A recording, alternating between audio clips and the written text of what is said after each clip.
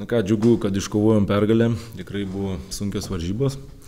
E, vien sunkios tom, kad nevėžys jauna komanda labai energinga, agresyvi.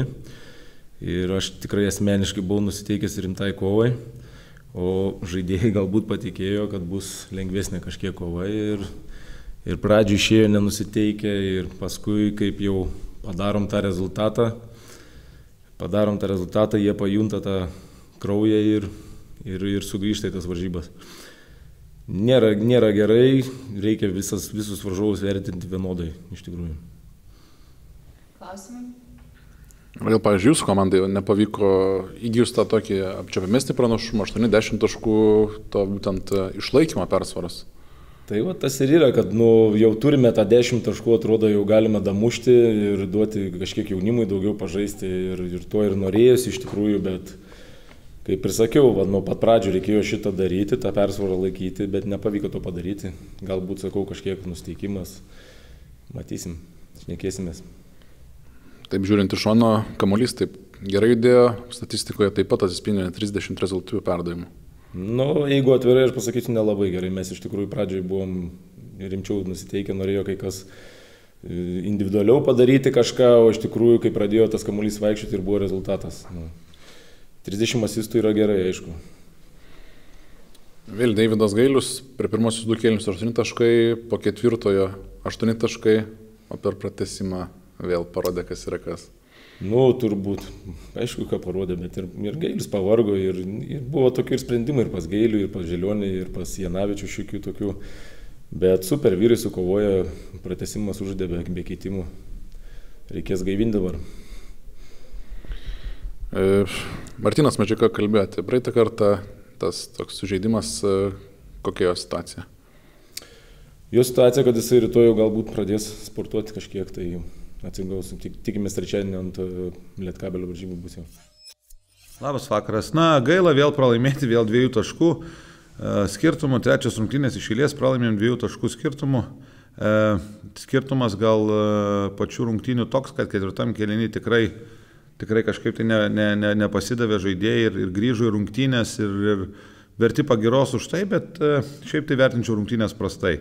Jeigu žiūrinti tai, ką mes norėjom žaisti, ką mes planavom, kaip mes planavom, tai, mm, tai tikrai neišpildėm tų visų dalykų, yra gerų momentų, bet e, daugiau, sakyčiau, šiai, šiai situacijai yra daugiau prastų dėl mūsų priimtų sprendimų. E, procentai kaip ir nieko nestebina nėra nei, nei pas mus, nei pas Neptūną jie labai stulbinantis. Turbūt nusivylęs esu tik tai 13 mestų baudos metimų, nes mes tokia pakankamai agresyvi ir greita komanda turėtume mesti daugiau. Ir vėl kamoliai, 10 kamolių šį kartą leidom, patys pasėmėm tik 7, tai, tai tokie iš, tų, iš tos sausos statistikos, bet pati mintis, nu, mes vėl turim, atrodo, kažkur tai pranašumus turim išnaudoti, kas liečia Neptūną. Mes kaip ir nuspėjom, atrodo, ką, ką žais, vėl blogai išpildom, išpildom dalykus, o čia darbas per treniruotės ir tą turėsim tobulinti. Klausimai? Tai buvo keletos situacijų, kai tarsi Neptūnas jau bando nutolti, tas 10 taškų skiriasi, po to sugebat vėl priartėti, ko pritruko, kad būtent tas tokį persvėrimą. Geresnių sprendimų, tai ir gale, ir mes atrodo ir turim, ir turim to šansus, ir pratesime, pradėjom ir, ir, ir atrodo 2 plus 1 Murauskas įmeta tokia emocinė banga ir gaunam iš karto vieną metimą iš gailiaus, tada įmetam du taškus ir gaunam po įmesto tritaškį nuo gailiaus. Tai, nu, ta prasme, mes jauna komanda, mes čia akcentuojam, kad bėgsim, lėksim ir mum, nesakau, kad gailius jau veteranas, bet po įmesto metimo gaunam tą tritaškį, tai čia yra mūsų koncentracija ir mūsų grįžimas į gynybą. Būtent e, trečios rungtynės pralaimėta tokiu minimaliu skirtumu, galbūt tos galiausiai rungtynių pabaigose ir patirties tiesiog trūksta jaunimui. Tai čia man kaip treneriui atrodo sakyti, oi, mes patirties trūksta. Taip, bet žinot, aš daug kartų esu sakęs ir čia ta tiesa yra, mažiau nei penki taškai pralaimėti yra trenerio kaltė.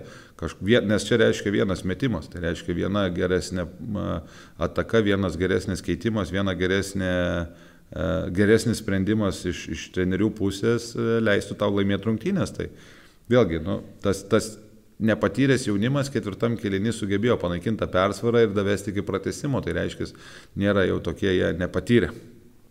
dualai atrodo šiandien tos rungtynės nelabai vykusios.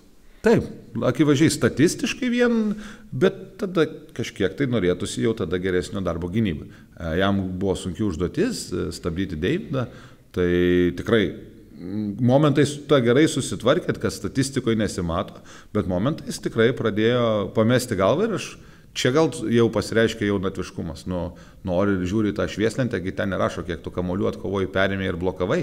Nori, nori įmesti taškų ir tada pradedi galvoti apie tai, o reikėtų tiesiog pradėti nuo gynybos. Jo vieninteliai taškai atėjo iš komandinės geros gynybos, perimus kamolį, nubėgti ir įdėti. Tai va, nuo gynybos.